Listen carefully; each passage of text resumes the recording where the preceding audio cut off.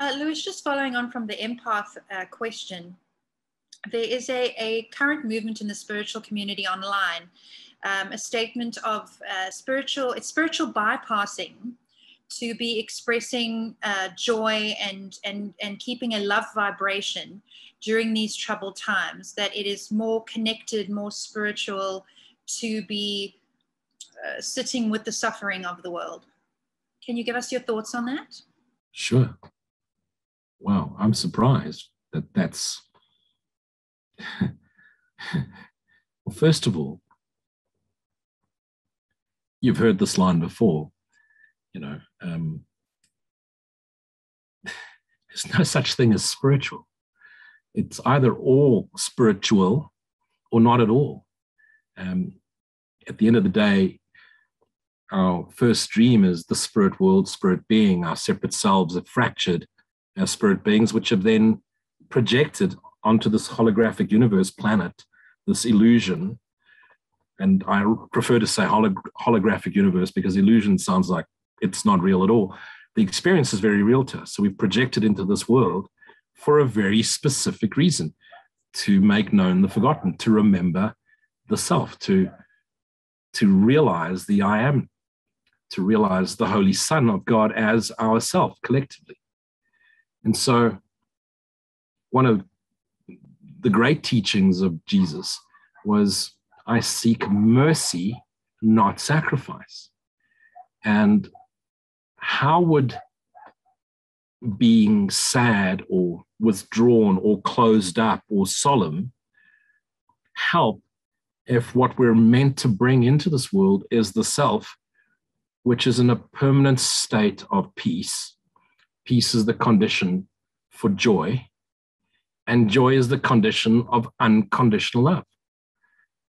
And once we're in that state of harmonized peace, joy, and unconditional love, what is our expression but in this world, but what appears to be happiness? And how can you help someone who's sad by being sad with them? That's again, if we go back to the previous question, if you're sad and I become sad with you, then that's just false empathy. Now I've bought into your idea of suffering and separation, and I'm now empathizing with your suffering and separation, and I've made it my own. And how do you help a drowning man? Certainly not by diving into the water with him if you're on a perfectly good boat. I mean, but rather throw, you know, um, a rope into the water and then pull them out. Stay above the battlefield.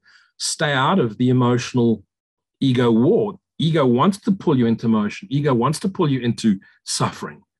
And so, the greatest service that we can give ourselves, our separate selves, what appears as separate body minds in this world, is to stay above the battleground, stay centered, stay true to the self, stay centered in the self, not self centered or selfish from an ego point of view, which is at the expense of everybody else, but for the benefit of, of all our separate selves as you stay centered in the self, not seeing the delusion of a suffering world, but realizing the real world, which is the awakened mind, and stay centered in that joyous, loving, unconditional, unconditionally loving, peaceful self, and offer that.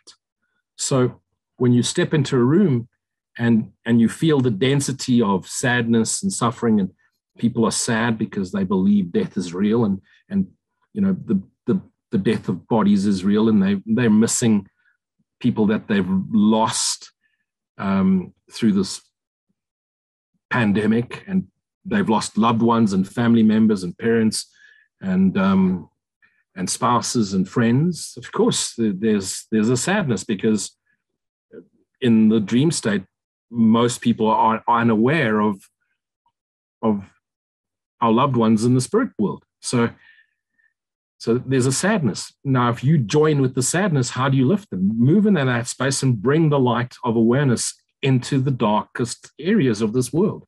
This is why I use the term lightly, the, the awakened, the light workers, are here to bring the light of awareness into the darkened, fallen minds, into those that are fallen means they've become trapped with the ego, body, mind identity of loss and sickness and disease and suffering.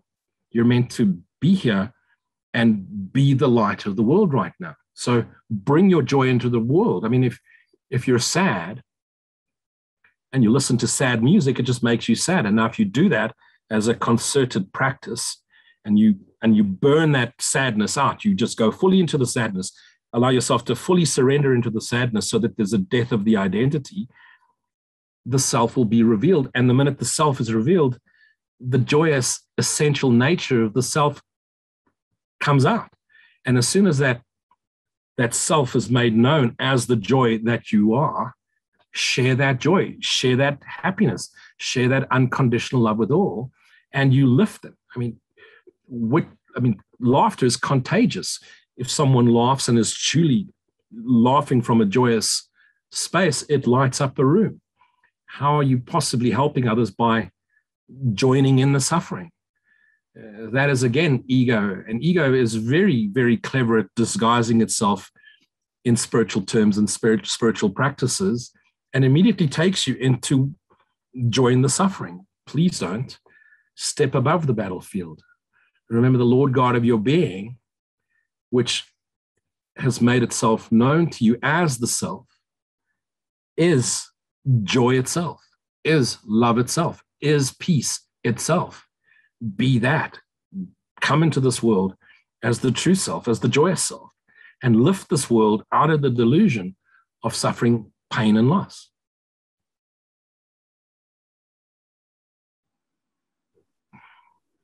How can you not be?